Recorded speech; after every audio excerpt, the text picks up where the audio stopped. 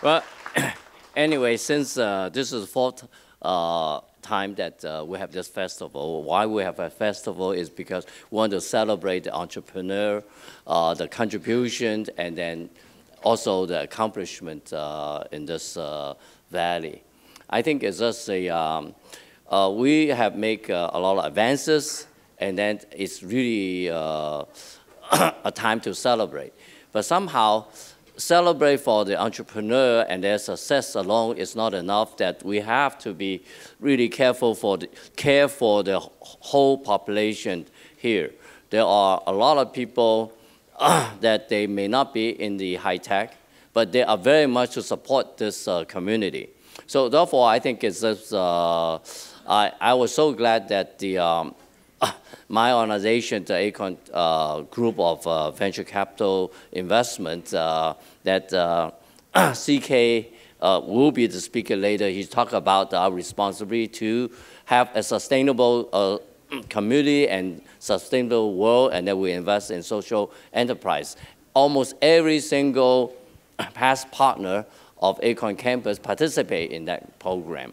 So therefore, I think it's another thing is us that I think the high-tech entrepreneur is kind of skewed to mostly male, and then the uh, uh, education uh, requirement, and, and then in, in the new technology is actually skewed to rocket science, uh, calculus, and everything. It's not so relevant now to the new technology we are that that kind of thing that excluded a lot of females, so therefore the founding uh, member of uh, this society right now, probably only 8 4 to 8 percent are women-started uh, uh, companies. So therefore, we have a special section on women in technology and how to promote that. And very glad that uh, we help that.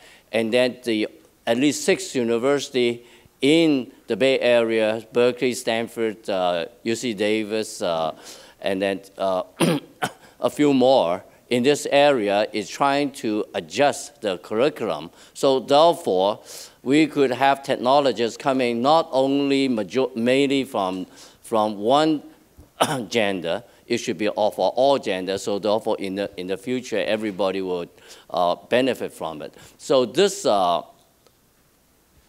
uh, Entrepreneurs Festival and the content of it is really looking forward and trying to plan the future to have a very fair society and at the same time that Silicon Valley is very innovative in many new things and then one thing that we have to consider is to have the harmony and then take care of all citizens. So therefore, by that, I really uh, very uh, admire and adore uh, uh, Ding TV's uh, whole staff and then develop such a great uh, program today.